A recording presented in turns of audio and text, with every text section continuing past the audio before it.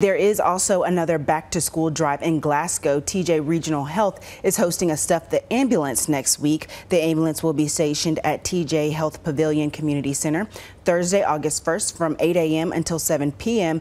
And another ambulance will be stationed outside the south entrance of TJ Sam Samson Community Health Hospital from 8 a.m. to 3 p.m. on August 2nd. Supplies include backpacks, notebooks, folders, pencils, pens, and more. For more information, head over to our website, WBKO.com.